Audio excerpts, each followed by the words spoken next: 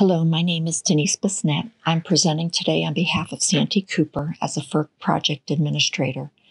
Chad Holbrook, our fisheries biologist, is also participating in the workshop and has been instrumental in the success of our involvement in the demonstration project thus far. We have had a fairly compressed timeline, and along the way, there were a number of challenges. Some traverses through the camp of the Just Say No crowd, but mostly, this is a story of how we got to yes. Today, I'm going to cover four topics First, a brief history of the Santee Cooper project and our involvement in the EPRI demonstration project. The project was built during the Depression and commenced operation during World War II. Today, the project supports the state's economy as a tourism magnet for fishing, hunting, water sports, and more. The five counties around the lakes realized over $400 million in tourism revenues in 2016, provided nearly 4,000 jobs with an annual payroll of nearly $70 million.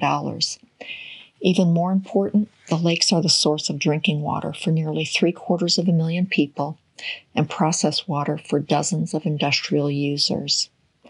Life as we know it in the Low Country would not exist without the Santee Cooper project. Licensing has focused and evolved over each subsequent license. The initial license established the project purpose as providing hydroelectric power and navigation. In the 70s, when the second license was issued, dam safety was the primary focus due to a number of failures. Subsequent to the second license issuance, stronger environmental regulations and an emphasis on fish passage grew and is the focus of the current licensing efforts. The estimated cost of fish passage will be a burden to the project economics and is what drove our efforts to find innovative and potentially more cost effective passage options.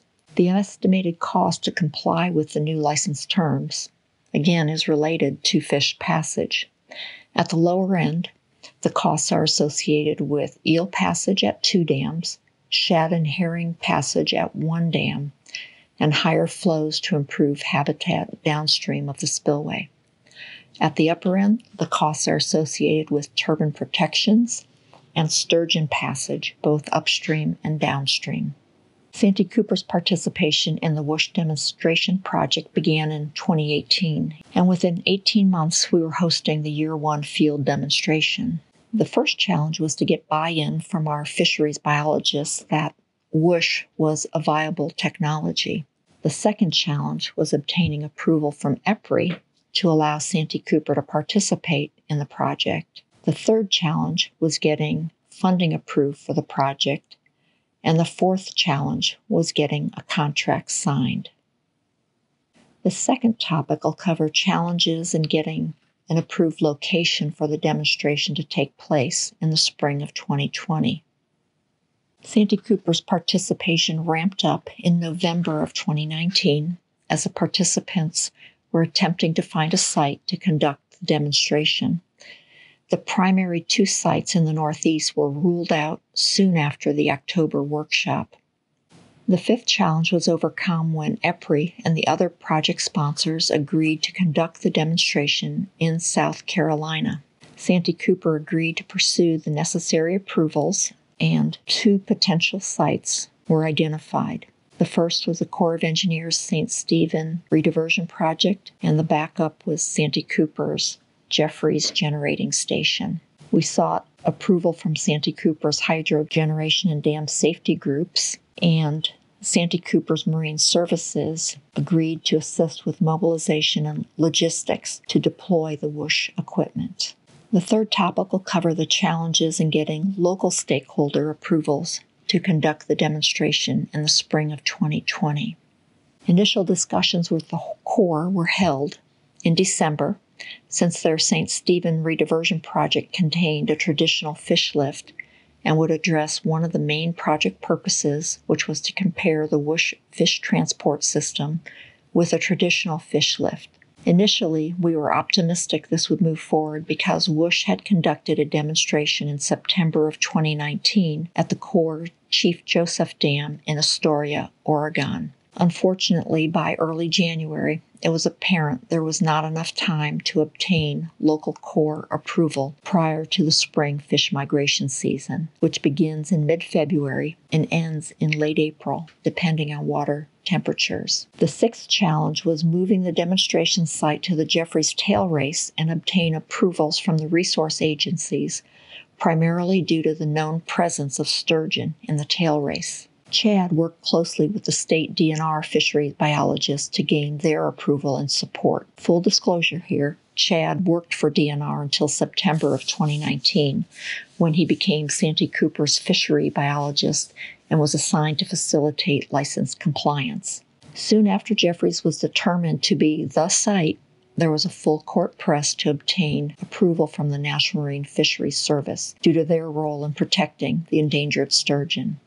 Whoosh, Alden Labs, DNR, and Santee Cooper worked with the NMFS team to get the green light.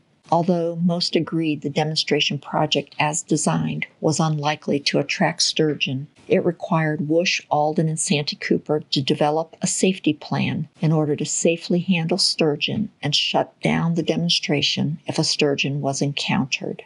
The seventh challenge was to reduce Santee Cooper's risk associated with serving as a project host. This was primarily due to the potential for an unpermitted take of sturgeon. Santee Cooper's legal and risk representatives coordinated closely with EPRI, Whoosh, and Alden to finalize the documentation within a few days. The final challenge, and this was due to the series of delays caused by each of the preceding challenges, was for Whoosh to quickly mobilize from the Pacific Northwest to the Southeast coast. As part of the deployment, they had to develop a level of confidence with Santee Cooper's Marine crew that their equipment would be safely handled, set up, and placed into position. The next several slides contain photos illustrating the mobilization and demobilization of the equipment. On March 5th, the Whoosh barge arrived in sections. It was launched into the diversion canal and pushed upstream a couple of miles to our Camp 2 Marine Crew work site. The next day, the tractor trailer arrived and was secured behind the fence for the weekend. On Monday, March 9th, our Marine crew with Whoosh guidance began installation of the equipment onto the barge. Second slide shows how large the Alaskan Steep Pass entrance flume is. Installation continued for the remainder of that week. By Thursday, March 12th, the barge setup was complete, and Whoosh personnel began setup at Jefferies along the East Dam. On Monday, March 16th, the weather forecast was good, and the Marine crew began to move the barges through the diversion canal and across Lake Moultrie. It's about 15 miles and took approximately six hours to make the crossing and enter the lock. Santee Cooper's crane was used to set the Whoosh barge spuds and install the dock and ramp for access. Whoosh crew suspended the flexible tube from the barge to the crest of the dam, and Santee Cooper assisted with placing the fish pen in the lake, which would allow fish to reorient after exiting the tube. On March 23rd, demobilization began, and on March 31st, Whoosh equipment departed South Carolina for Canada. The final topic, I'll cover some lessons learned. Developing partnerships with resource agencies during challenging times. Over the 20 year licensing process, the project has had its share of ups and downs.